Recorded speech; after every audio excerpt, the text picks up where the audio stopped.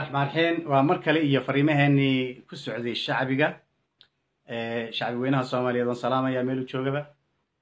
Waxaan ku bilaabayaa mahadnaq diiran oon u jeedinayo saddexda mas'uul inaga soo gebagabeeyey khilaafkii ka soo daahiray dhulka soomaalida somali state isbuucii u dambeeyey madaxweyne mustafe wasiir axmed shide iyo prime minister abiye oo door fiican oo si horumarsan oo xadaarad leh ama ilbaxnimo leh ku soo gebagabeeyey khilaafkii ina hadheeyey toddobadii beri ee u dambeysay. Khilaafkaas oo ay door weyn ka qaadatay siduu u dami lahaa iyo siduu nabadgelye ugu soo gebagaboobi lahaa. Waxaan u mahadnaqaynaa oo kale dadweynaha soomaaliyeed falcelintii ay ka bixiyeen khilaafkaas midnimada iyo soomaalinimada iyo geesinimada iyo baraarugsanida iyo soo jeedka iyo isku xidhnaanta iyo isku duubnida ay muujiyeen waxgaradka dadweynaha guud ahaan waxgaradka iyo hogaamiyaasha dhaqanka aqoon-yahanka iyo indheergaradka dadka soomaalida ah xubnaha jawxo iyo qurba joogta jawxo iyo qurba joogta soomaaliyeed guud ahaan doorkii fiicnaa ee soo jeeday ee noolaa ee ay ku fiirinayeen ay u daba socdeen arrintaas waxay muujinaysaa soo jeedid iyo baraarug baraarug iyo bisayl rajo gelinaya halgamaaga jawxo iyo iyo dadweynaha soomaaliyeed meelu joogaba. Aad baan uga mahadnaqaynaa. Waxaan halkan doonayaa inaan ka caddeeyo inay jawxo doorkii ugu weynaa ay ka qaadatay. Waanu ku faraxsannahay siduu ku dhammaaday waana sidaan u howlgallay dadkii nagala howlgalayna aad bay ugu mahadsan yihiin. Waxaa kaloon doonayaa inaan si weyn u xuso. Sidaan uga xunnahay dhibaatadii soo gaadhay dadka dadweynaha dirdhaba oo afartii maalmood u dambeysay dhibaato nabadgelyo iyo qalalaase. Nabadgelyada wax u dhimaya oo geystay khasaare dhimasho iyo dhaawacba leh iyo hanti burburta. Soo gaadhsiiyey oon aad uga xunnahay. Waanu ka howlgallay waan ka diriray waanu ka tiiraanyeysannahay hadda kadibna waynu ka wada howlgelaynaa reer dirdhaba dadweynaha soomaaliyeed dirdhaba iyo jawxo iyagoo isku duuban ayaynu dhibaatada xal u raadin doonaa haddii a la yidhaahdo. Xal nabadgelyo ah oo anfaca dadka soomaaliyada dirdhaba inayna dib dambe loo sasinin dhibaatana loo gaadhsiinin haddana dadaal weyn baan ka geysanay ilaahay mahaddii hadda way degan tahay in alla ugu wadana waan rajaynayna waxaan ku soo waxaan ku xujisiinayaa aan ugu bishaareynaya dadweynaha soomaaliyeed inaan inaan furayno xafiisyadii jawxo. Toddobaadkan gudihiisa xafiiskii addis ababa inuu toddobaadkan gudihiisa howlgeli doono xafiiskii dirdhaba iyo jigjigaan ay ku xigayaan isla toddobaadkan. Dhammaan kow iyo tobanka gobol deegaanka soomaalida ama ismaamulka soomaalidana somali statena aan ka furi doono iyo sagaashanka degmooyinka sagaashanka kor u dhaafay iyo qabaleeyada waaweyn ee mudan in laga furaba inaan ka furi doono. Dadka u baahan xafiiskaas danaha dadka midnimada soomaalida horumarintooda dhaqaale nabadgelyadooda bislaynta garaadka siyaasiga u diyaargaraynta wejiyada siyaasiga ee nagu soo socda ayuu ayuu kaalin weyn ka qaadanaya xafiisyadaas ka qaadanayaan degmo weliba u baahan tahay gobol weliba u baahan yahay jawxana shacbiga soomaaliyed inay la joogtay u baahan tahay. Waxay keenaysaa mashaariic horumarina waxay ku soo xidhaysaa caalamka waxay qar taagnaanaysaa dowladda iyo mashaariicdeeda waxay ka fikiraysaa danaha dadka oo ilaalinaysaa. Marka degmo walba iyo qabalo walba iyo gobol walba uu u baahan yahay. Xafiiska jawxo oo furan. Jawxana waxay u baahan tahay shacbi kasta oo soomaali oo meel isugu yimid inay dhex taagan tahay oo ay gaadhiso fariinteeda oo ay ku jihayso noloshooda iyo mustaqbalka ubadkooda iyo si ay u sawirto ama u sheeb garayso ama ay u qaabayso ama u jaangeyso mustaqbalka dadka soomaaliyeed inuu noqdo mid ka fiican maanta siduu yahay haddaba xafiisyada waxaan ku bishaareynaa inay howlgelayaan iyagoo sharci cis hortaagi karta inay jirin. Waxaa kaloon ku soo khatimayaa heerka aan gaadhnay. Horta jawxo waa jabhad gaamurtay soddon iyo afar sano dagaalamaysay dhaxashay taariikhdii halganka ee dheer ilaa iyo axmed gurey iyo daraawiish iyo leego iyo towradihii dhulkeenna ka kacay oo dhan soo dhaxashay. Oo dhitadii soomaalida oo dhan ku kaydsan tahay. Bisayl iyo waayo aragnimo siyaasi a leh oo ay ku xaliso dhibaatooyinka muxuu ahay siyaasiga oo ay ku midayn dadka soomaaliyed inay midayso meel isugu keento. Maxaa yeelay waa hal dad waa hal dal waa hal dan. Hal meel ku wada nool hal ujeeddo leh.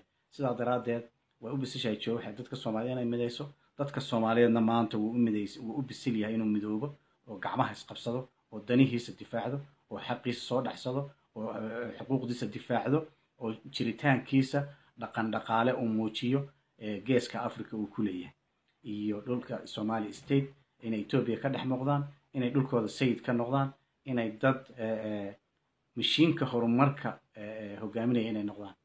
Ayay ayay jooxa iyo shacbiga u bisil yihiin.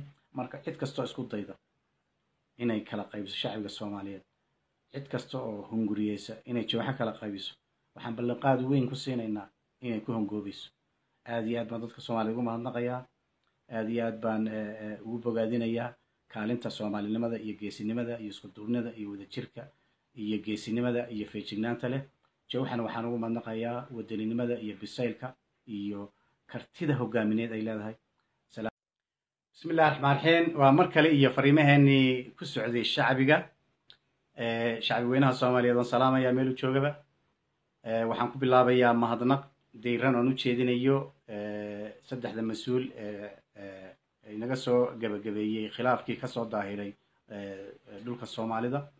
Somali state isbuucii u dambeeyey.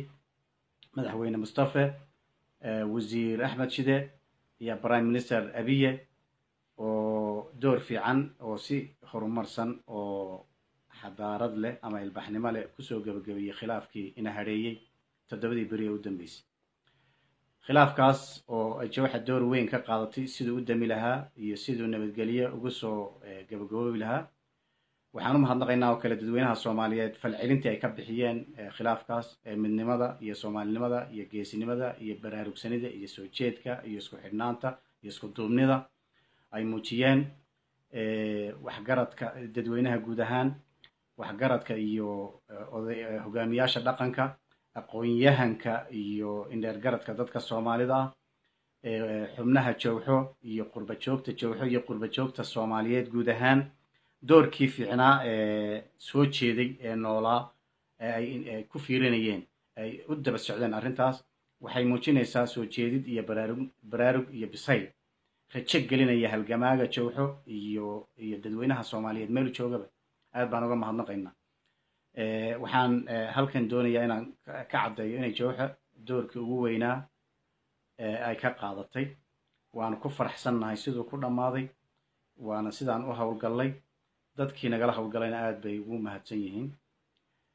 Waxaa kaloon doonayaa inaan si weyn u xuso sidaan uga xunnahay dhibaatadii soo gaadhay dadka dadweynaha dirdhaba oo afartii maalmood u dambeysay dhibaato nabadgelyo iyo qalalaase nabadgelyada wax u dhimaya oo geystay khasaare dhimasho iyo dhaawacba leh iyo hanti burburta soo gaadhsiiyey oon aada uga xunnahay.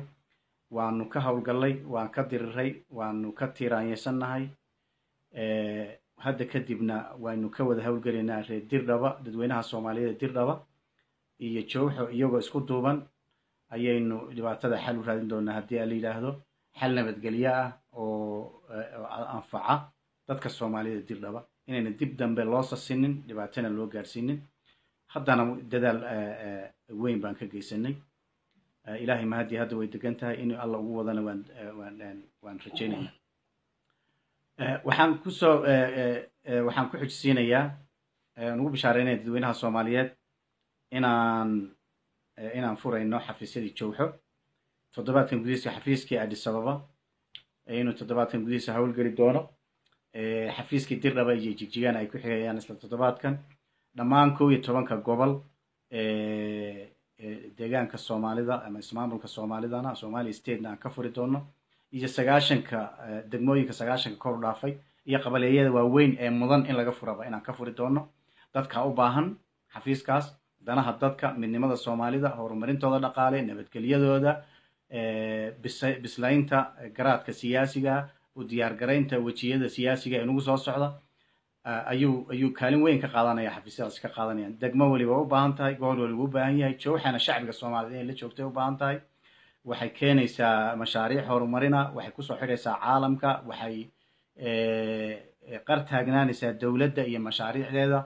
Waxay ka fikiraysaa danaha dadka oo ilaalinaysaa. Marka degmo walba iyo qabalo walba iyo gobol walba uu u baahan yahay xafiiska jawxo oo furan. Jawxana waxay u baahan tahay shacbi kasta oo soomaali oo meel isugu yimid inay dhex taagan tahay oo ay gaadhiso fariinteeda oo ay ku jihayso noloshooda iyo mustaqbalka ubadkooda iyo si ay u sawirto ama u sheeb garayso ama ay u qaabayso ama u jaangeyso mustaqbalka dadka soomaaliyeed inuu noqdo mid ka fiican maanta siduu yahay. Haddaba xafiisyada waxaan ku bishaareynaa inay howlgelayaan iyagoo sharci ciis hortaagi karteen ay jirin waxaa kaloon ku soo khatimayaa heerka aan gaadhnay horta jooxo waa jabhad gaamurtay soddon iyo afar sano dagaalamaysay dhaxashay taariikhdii halganka ee dheer ilaa iyo axmed gurey iyo daraawiish iyo leego iyo towradihii dhulkeenna ka kacay oo dhan soo dhaxashay oo dhitadii soomaalida oo dhan ku kaydsan tahay. Bisayl iyo waayo aragnimo siyaasiya leh oo ay ku xaliso dhibaatooyinka muxuu ahay siyaasiga oo ay ku midayn dadka soomaaliyed inay midayso meel isugu keento maxaa yeelay waa hal dad waa hal dal waa hal dan hal meel ku wada nool hal ujeedo leh. Sidaa daraaddeed way u bisishahay jooxa dadka soomaaliyed inay midayso. Dadka soomaaliyeedna maanta wuu wuu u bisil yahay inuu midoobo oo gacmaha isqabsado oo danihiisa difaacdo oo xaqiisa soo dhacsado oo xuquuqdiisa difaacdo oo jiritaankiisa dhaqan dhaqaale uu muujiyo geeska africa uu ku leeyahay iyo dhulka somali state inay etoobiya ka dhex noqdaan inay dhulkooda sayid ka noqdaan inay dad mashiinka horumarka hogaaminaya inay noqdaan. Ayay ayay jooxa iyo shacbiga u bisil yihiin. Marka cid kastoo isku dayda inay kala qaybiso shacbiga soomaaliyeed cid kasta oo hunguriyeysa inay jooxa kala qaybiso waxaan ballanqaad weyn ku siinaynaa inay ku hongoobayso aada iyo aad baan dadka soomaliya ugu mahadnaqayaa aada iyo aad baan ugu bogaadinayaa kaalinta soomaalinimada iyo geesinimada iyo iskuduubnida iyo wadajirka iyo geesinimada iyo feejignaanta leh. Jawxana waxaan ugu mahadnaqayaa wadaninimada iyo bisaylka iyo kartida hogaamineed ay leedahay. Asalaamu calaykum waraxmat ullahi wabarakaatu